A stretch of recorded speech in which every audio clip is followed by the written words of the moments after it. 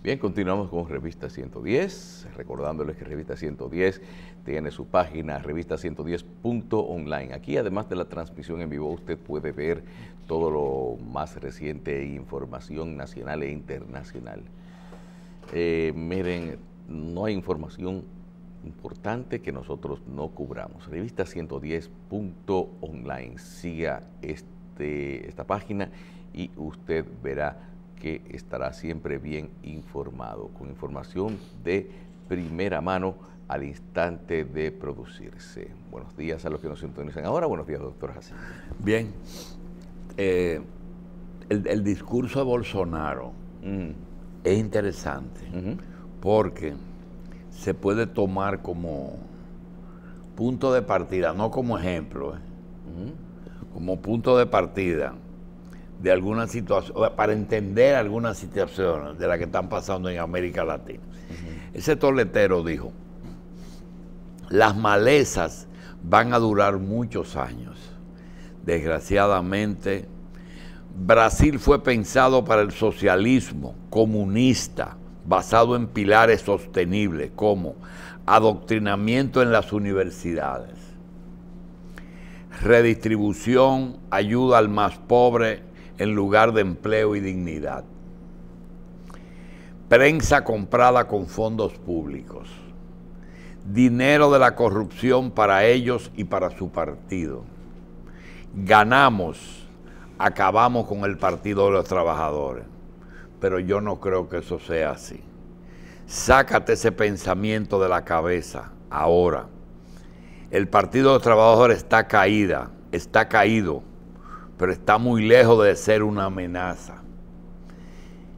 Ya se preguntó por qué el peor candidato de un partido involucrado hasta el cuello en corrupción, cuyos principales líderes están en la cárcel, recibió 44 millones de votos.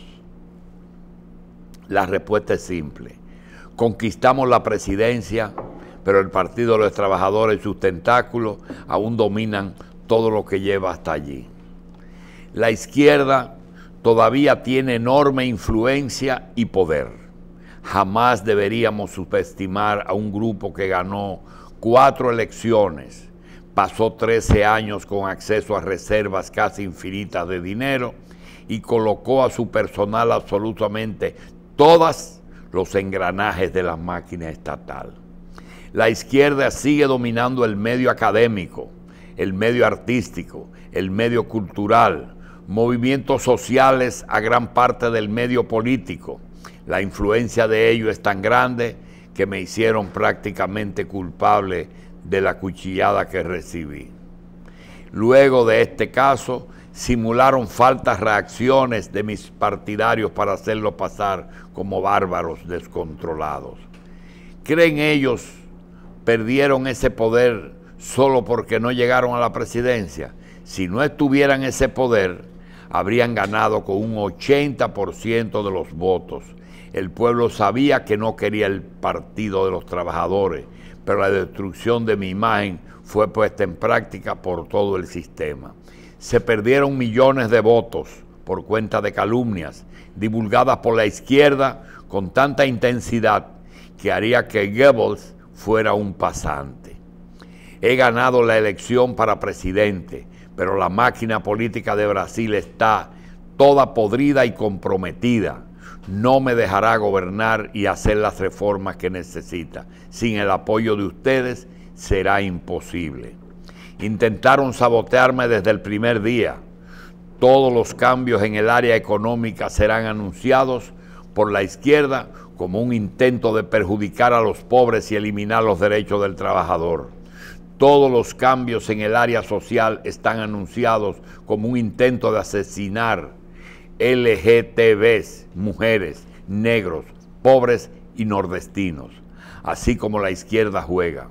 Estoy recibiendo a Brasil en el peor estado que un presidente lo haya recibido. Seré criticado por mis aciertos y masacrado por mis errores. Intentaré no errar. El primer año será difícil es necesario tomar el poder de influencia de la izquierda y devolverlo al pueblo.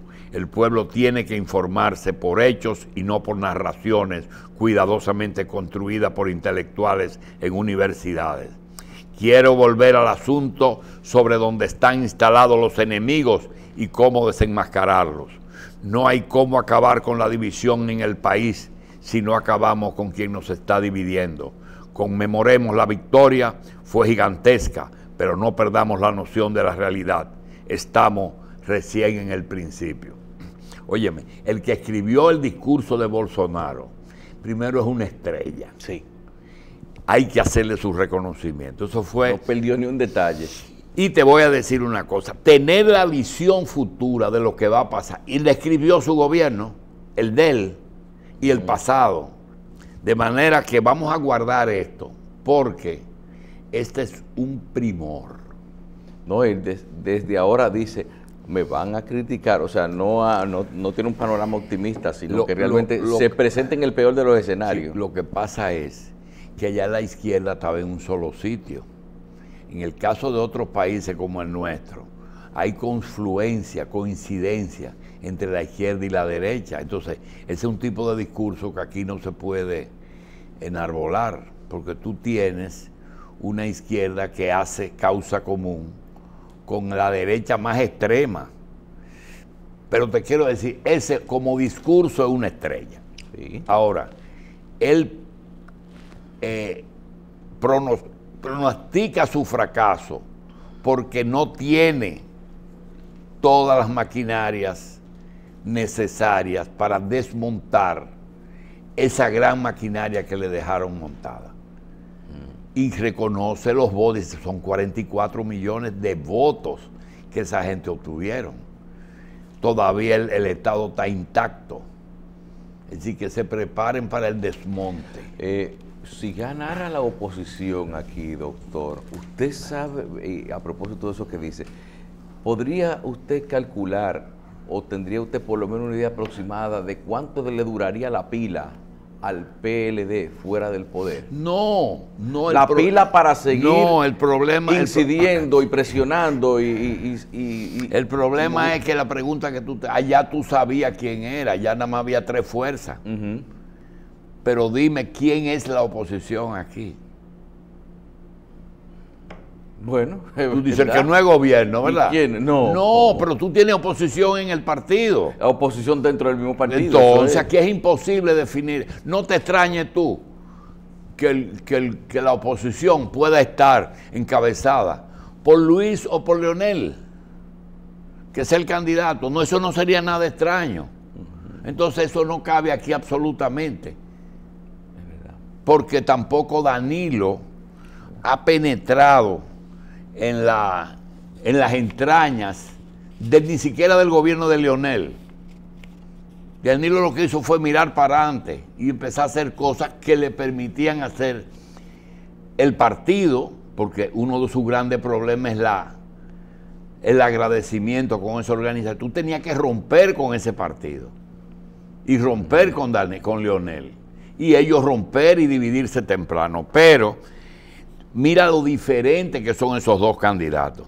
Tú tienes, por una parte, un caballero educado, formado en el poder, con, con ínfulas hasta de, de ser un monarca, porque cuando tú ves que él opta por un cuarto periodo sin derrota, él se cree un predestinado, una Isabel II, una cosa de esa. Mm.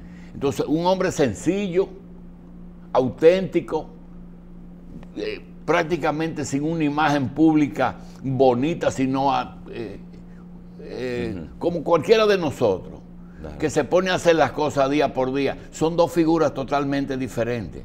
Ahora, cuando tú vayas a perseguir, tú no vas a perseguir a Leonel, tú vas a perseguir al último que, que llegó del PLD. Entonces, yo creo, yo creo que ese discurso de Bolsonaro en muchos países cabe bien, pero aquí no. Por ejemplo, tú lo puedes meter en Bolivia fácil, fácil, porque hay una derecha que está echando chispa. Y aunque él ha tenido problemas con sus indios, pero, pero no profundo. De manera que ese discurso y la situación de aquí no se parecen. No se parecen porque la pregunta que tú hiciste, cualquier persona que llegue al persona que llegue al poder aquí tiene que perseguir al que estaba para eliminarlo. Como el librito, con hombre en primera asignado hay que tocar en el octavo.